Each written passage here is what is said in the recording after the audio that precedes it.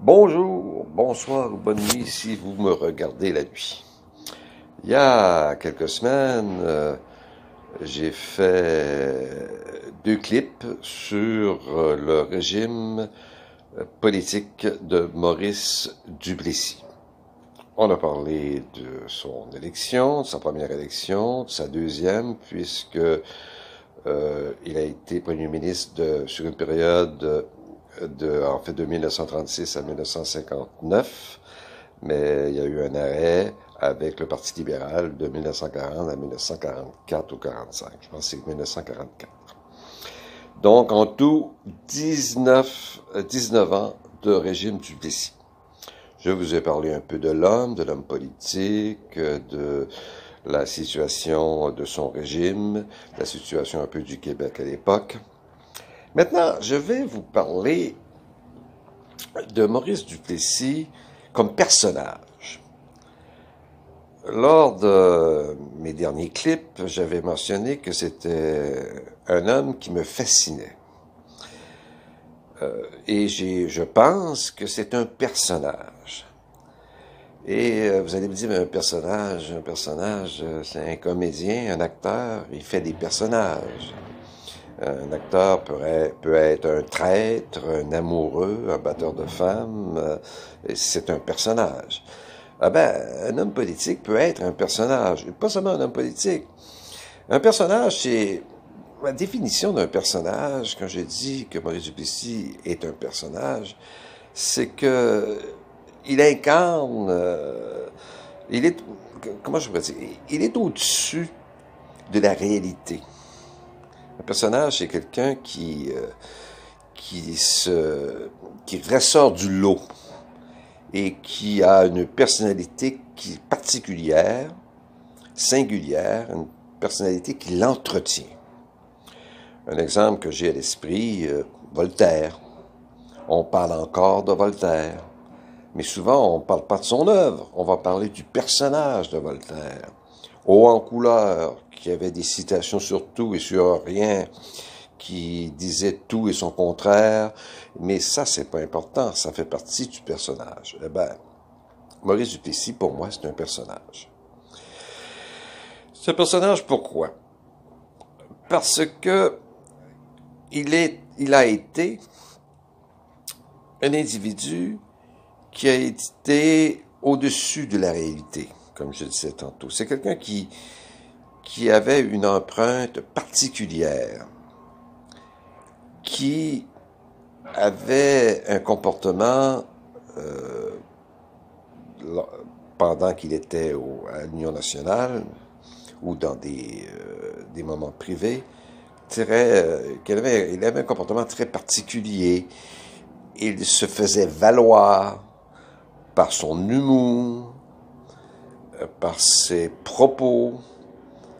Euh, il était ce qu'on pourrait appeler un individu hors du commun, non pas qu'il était plus intelligent que les autres, j'ai dit un individu hors du commun, peut-être un politicien plutôt hors du commun qui savait se faire remarquer et qu'on ne pouvait pas oublier. Euh, son, il a été premier ministre du Québec et il a su faire de ce rôle un personnage. Maurice Duplessis, on se rappellera qu'il faisait des discours, hein, puis qu'il se mettait la main sur le cœur, puis, comme on dit, il en mettait plus que le client demandait. Mais ça, c'est un personnage c'est quelqu'un qui est en dehors de la réalité de tout le monde et même en dehors de la réalité des politiciens. Prenons un exemple. Robert Bourassa. Robert Bourassa, il a fait beaucoup plus de choses pour le Québec que n'en a fait Maurice Duplessis. On s'entend là-dessus. Par contre, quand on parle de Robert Bourassa, on va parler de son régime, de la façon dont il a administré le Québec. Mais on ne peut pas dire que Bourassa a laissé une trace incroyable euh, concernant sa personnalité. Hmm? Certains disaient qu'il était fade ou disaient qu'il était timide. On ne pas dire que quand on parle euh, de la période où il a été Premier ministre qu'on va parler davantage de lui euh, que de son administration. Or, Duplessis, on va souvent parler davantage de lui comme personnage Duplessis que son administration. Parce que son administration, lors de mon dernier clip, je vous en ai parlé, je vous ai dit que c'était pas extraordinaire. Hein? On peut pas dire qu'il a fait de grandes choses pour le Québec.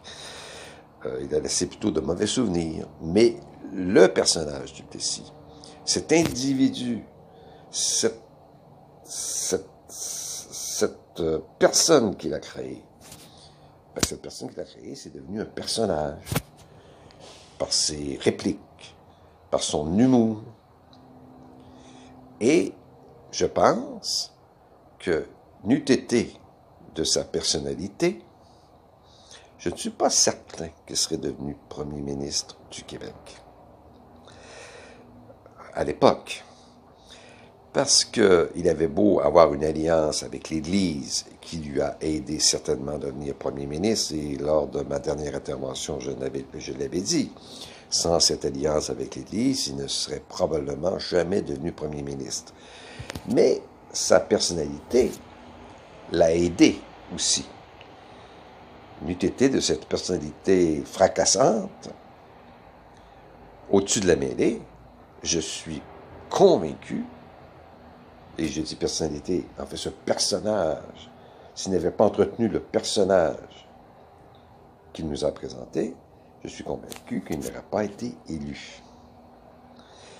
Parce que c'était un homme qui avait le sens des mots, le sens de la phrase. On peut pas dire que c'était un, orateur, peut pas dire que c'était Pierre Bourgault, hein, c'était pas un orateur extraordinaire. Même René Lévesque était peut-être sans doute un meilleur orateur que Maurice Duplessis. Mais il dégageait euh, une personnalité, puis toujours en, associant l'Union nationale à Maurice Duplessis, comme j'ai dit lors de la dernière intervention, c'était l'Union nationale de Maurice Duplessis. Hein? C'était pas seulement l'Union nationale, c'était l'Union nationale de Maurice Duplessis. Maurice Duplessis euh, euh, avait réussi à convaincre beaucoup de gens euh, que le Québec devait être ce que lui en a fait. Et ça, c'est dû à sa personne, c'est dû au personnage qu'il a créé. C'était un personnage qui a marqué l'histoire du Québec. Euh, le seul fait qu'on ait appelé ça la période du Plessis, ou le duplessisme, ou qu'on disait que l'Union nationale, c'était l'Union nationale de Duplessis, ça montre à quel point le personnage était important. Et ce personnage, il se l'est créé lui-même. Parce qu'il savait, il savait que allait amener des gens vers lui. Et c'était un personnage qui était capable euh, de distanciation, euh, à moi la mode, de distanciation à l'égard euh, de certaines personnes.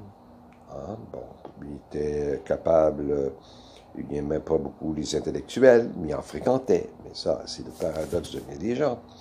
Alors, il était capable de, parler, quand je dis de distanciation par rapport aux intellectuels, c'est que s'il allait dans le bas du fleuve faire une conférence devant les agriculteurs, il parlait comme les agriculteurs le personnage du Plessis était pendant 15, 20, 30 minutes comme un agriculteur.